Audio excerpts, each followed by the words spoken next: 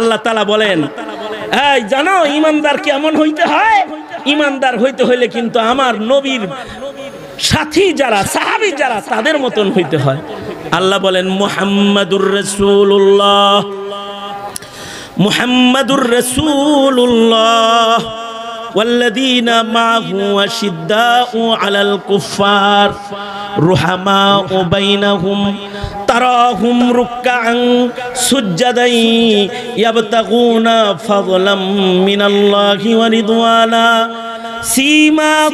ফি মিন জটিল জটিল, বেশি না, চারটা গুণ আল্লাহ আয়াতের প্রথমাংশে বলে, আল্লাহ তালা বলে, ওই ইমানদারগুলার এই গুণের বর্ণনা শুধুই মাত্র কোরআনে আছে তা না। পূর্বের জমানার নবীদের কিতাবের ভেতরেও এ ইমানদারদের এ গুণগুলা আলোচনা আমি করেছি। আল্লাহ তালা এগুলো পূর্বের যুগের ইমানদারদের কিতাবের ভেতরেও আমাদের নবীর সোহবতের ইমানদারদের এ গুণগুলো বলেছেন। নবীর সোহবতের সাহাবা নামের ইমানদারের বিশেষ গুণের ভেতরে একটা গুণ হলো, ওয়াল্লাযীনা মাহু আশিদ্দা ও আলাল কুফার ইমানদারদের একটা গুণ হলো ইমানদাররা কুফুরের সাথে কাফেরের বেলায় হবে শক্ত। অর্থাৎ অন্যায়ের বেলায় হবে মজবুত, শক্ত সীসাডালা প্রাচীরের মতো। আর ন্যায়ের বেলায়, ধর্মের বেলায়, মুসলমানিত্বের বেলায়, নিজের দলের লোকের বেলায় হবে রুহামা উবাইনাহুম। আশিদ্দাউ আলাল কুফার রুহামা উবাইনাহুম দুটি গুণ। যে শক্ত হইব হইল কাফেরের লগে। আর নরম হইব নিজেদের মুমিন ভাইদের লগে। আশ্চর্য মুসলমান এখন আমরা। আশ্চর্য মুসলমান রাজনীতির পেছে পড়ে। মুশরিক, গায়েরে মুসলিম যারা, তাদের লোকে পীড়িতের সম্পর্ক করো আর রাজনীতি করতে গিয়ে নিজের মুমিন ভাই অথবা ধর্মগুরুর সাথে আদাওয়াতি আর দুশ্মনী করো। নিজের লোকদের সাথে করো দুশ্মনী আর দুশ্মনের সাথে করো দোস্তি। দোস্তিটা কোন জায়গায় হইতে হইব? দুশ্মনী কোন জায়গায় হইতে হইব তাও জানো না। আবার তুমি নিজেকে মনে করো তুমি মুমিন। অথচ কেউ যদি দোস্তি, দুশ্মনীও না বুঝে, তাইলে তার ইমান পরিপূর্ণই হয় না। এক হাদিসে আল্লাহর রসুল বলতেছেন, বুখারী শরীফের হাদিস, আল্লাহর রসুল বলেন, মান আতা লিল্লাহ ওয়া মানাআ লিল্লাহ, ওয়া আহাব্বা লিল্লাহ, ওয়া আবগাযা লিল্লাহ, ফাকাদ ইস্তাকমালাল ঈমান। আল্লাহর রাসূল বলেন, মান আতা লিল্লাহ, ওয়া মানাআ লিল্লাহ, ওয়া আহাব্বা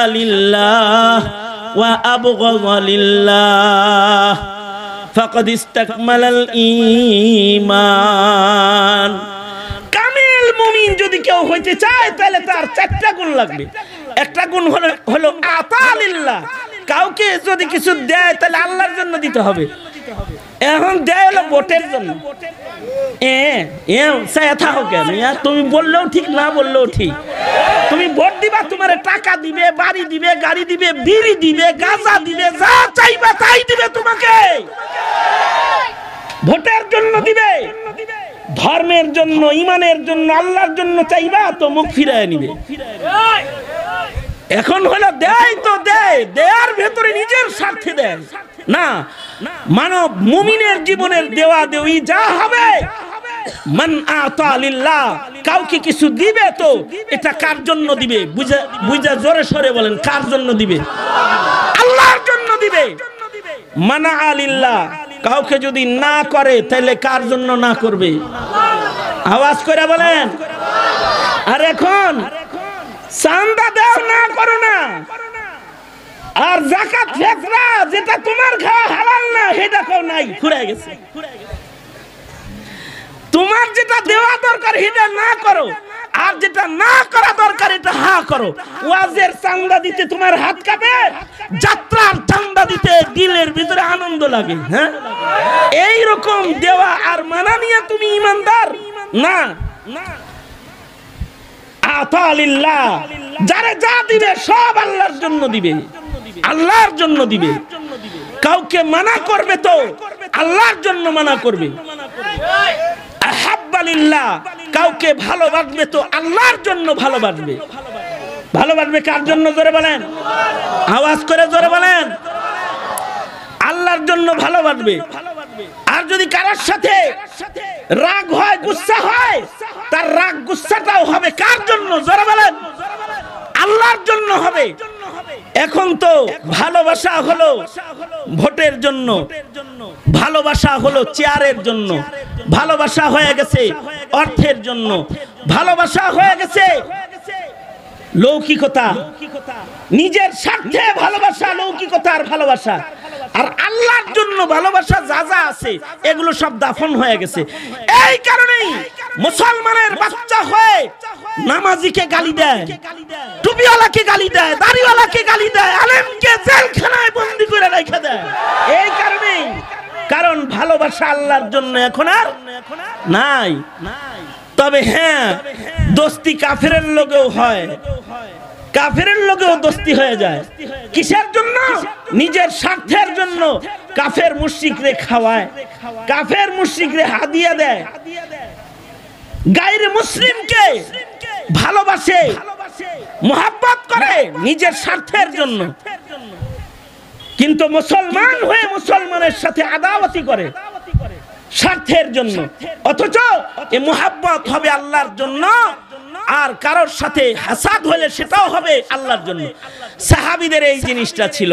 সেটা হলো সাহাবিরা ভালোবাসা করত নিজেরা নিজেরা।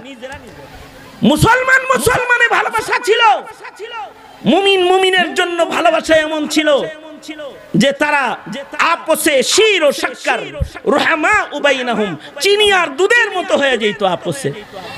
আর অন্যায়ের বেলায় ছিল তারা দুর্বার। এখন তো অন্যায়ের প্রতিবাদ কেউ করলেও মুসলমান হয়েও অন্যায়ের পক্ষে চলে যায়। তাছাড়া নব্বই ভাগ মুসলমানের মাটিতেও কাদিয়ানির পক্ষে মুসলমানের আওয়াজ পাওয়া যায়। কি মনে করছেন আপনি এটাকে? কাদিয়ানির পক্ষে। যেই কাদিয়ানি রাসূলের খাতমে নবুয়ত নিয়ে টানাটানি করেছে, তাদের পক্ষে মুসলিম কথা কয়, আর কোরআন, হাদিস, সুন্না, দিন, এটার পক্ষ যখন নিতে হয়, তখন মুখে কুলুপ আটকায় বৈশা রয়, কুলুপ দিয়ে বৈশা এর ভালোবাসা চলে গেছে, অন্যায়ের সাথে, আর আদাওয়াতি পয়দা হয়েছে, হকের সাথে, হক্কানিয়তের সাথে। এইটা কোনো ইমানদারি না। তো ইমানদারির কিছু আউসাফের ভেতরে, একটি আউসাফ দুটি আউসাফ এটা আশিদ্দাউ আলাল কুফার রুহামা উবাইনাহুম। আর ইমানদারকে, ইমানদারের জীবনটাতে এমন হবে, ইমানদার চিপায় চাপায় যেখানেই থাকবে, তাকে ইবাদতে দেখা যাবে দেখা যাবে।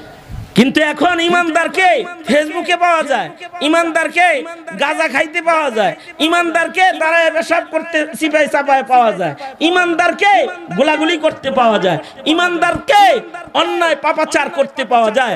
এখন সিপাই চাপাই ইমানদারকে ইবাদত রত সেজদারত নফল ইবাদতে আর এখন পাওয়া যায় না।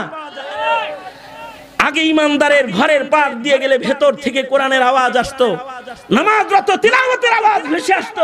আর এখন ইমানদারের ঘরের কাজ দিয়ে গেলে হিন্দি ছবি আর কিরণমালার আওয়াজ পাওয়া যায়।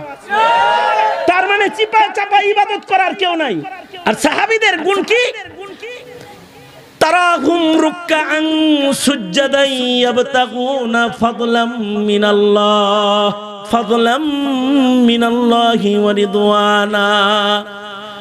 সিপায় চাপায় যেখানে সাহাবিদের দিকে তাকাইবেন, দেখবেন সাহাবি ইবাদতের ভেতরে ব্যস্ত রয়েছে। সে ইবাদতের সাধনার ভেতরে ডুবা আছে, সাহাবির গুণ। বেশি ইবাদত করা কাসরাতে ইবাদত। আল্লাহ বলে, কাসরাতে ইবাদতের শুধু দৃশ্যমান দেখা যায় তাদেরকে ইবাদতে তা না।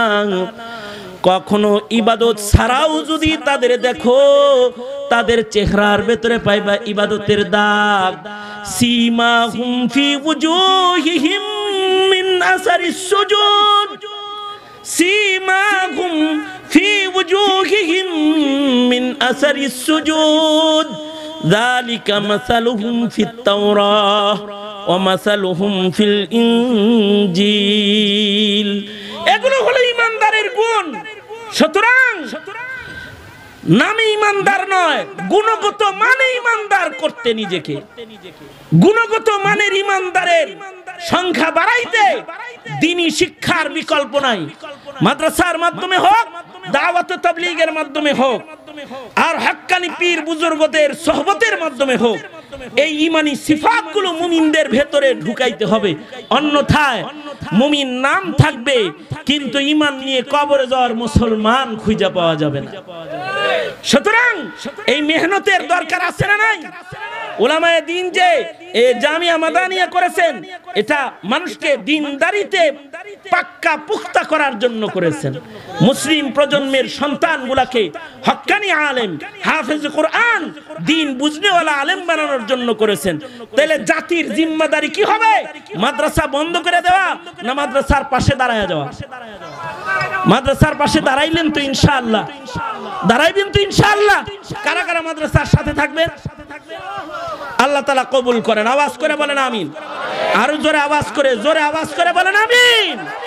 হাত নামান, আল্লাহ তালা আমাদেরকে দিনদারি বুঝার তৌফিক দেন, মাদ্রাসার কদর বুঝার তৌফিক দেন, সালাতুল ঈশার আজান হয়ে গেছে, এখানেও সালাতুল ঈশার আজান হবে, জামাত হবে, জামাতের পরেই আমার অত্যন্ত স্নেহের মোহাব্বতের ইউসুফ বিন ইকবাল আছে নুসুস দিয়ে আলোচনা করে, তিনি আলোচনা করবে, আর উলামা হজরতরা আসবে, তারা আলোচনা করবে, এহতেমামের সাথে বসে আপনাদেরকে মাহফিলে কিছু শোনার ধর্ম কর্ম কিছু শিখার আহ্বান জানিয়ে আমি আমার সংক্ষিপ্ত কথা এখানে শেষ করতেছি जो कुछ हुआ या रब तेरे करम से हुआ जो कुछ होगा तेरे करम से ही होगा व आखिर दावाना अल्हम्दुलिल्लाहि रब्बिल आलमीन अस्सलाम वालेकुम व रहमतुल्लाहि व बरकातहू